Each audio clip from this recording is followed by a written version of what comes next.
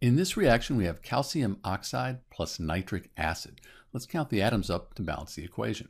We have one calcium, we have one oxygen, and I'm going to skip this oxygen for right now. We're going to come back to this. One hydrogen, and I'm going to count this NO3, this is the nitrate ion, it's just one item because I have an NO3 here, and then I have two of them over here. So I'm just going to consider it NO3 to be one thing. So I have one NO3 here, calciums, I have one.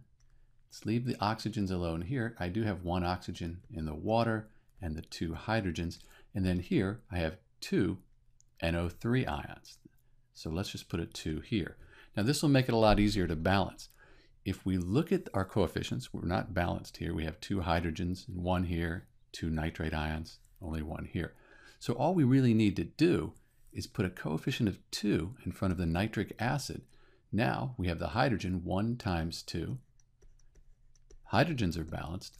And then we're treating the nitrate as one item. So the 1 nitrate times 2, that gives us 2 nitrates. Those are balanced. So everything's balanced.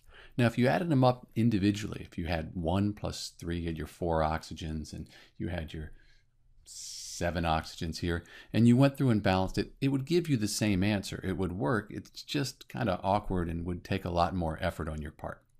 This is Dr. B with the balanced equation for CaO plus HNO3 yields CaNO3 2 plus H2O. Thanks for watching.